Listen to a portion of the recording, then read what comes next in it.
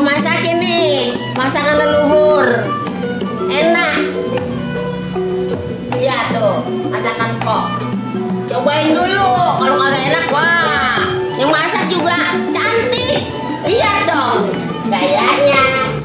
Jangan bosan-bosan. hampir terus kemari ya. Masakan ini masakan empok, boleh empok sendiri.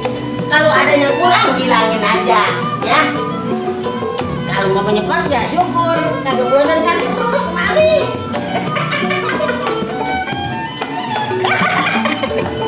Ya ya ya ya ya masakannya mantap yang bikin